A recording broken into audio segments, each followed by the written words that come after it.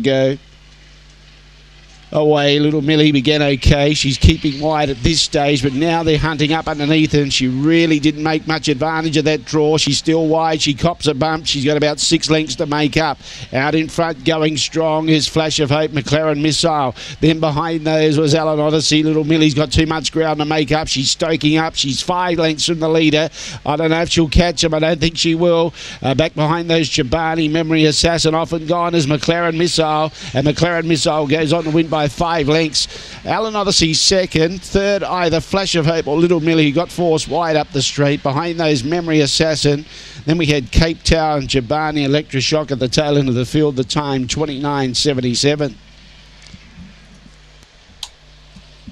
It'll be 5 6 4, 5 6 4 and 8, 5 6 4 and 8, the judges' numbers.